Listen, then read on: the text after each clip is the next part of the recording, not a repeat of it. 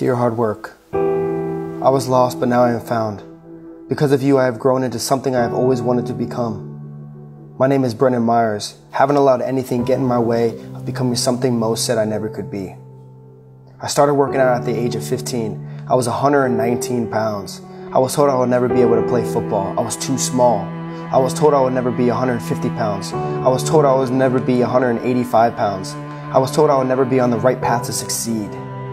I am now 21 years old. I persevered through the bad time and never given up.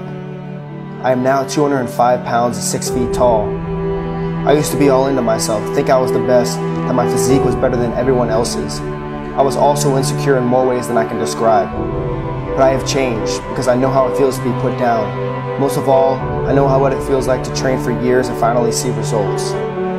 I have been blessed to share my story and give others hope in themselves. Our goal is to change a life every day, to share with the world what living a healthy lifestyle is really all about.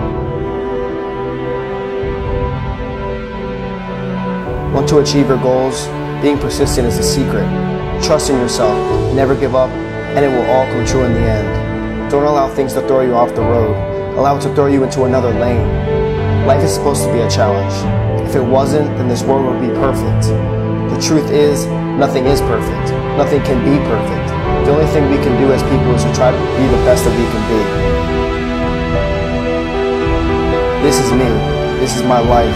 This is my transformation. From someone I thought I would always be to something I thought I would never be. Dear hard work, thank you for what you've given me.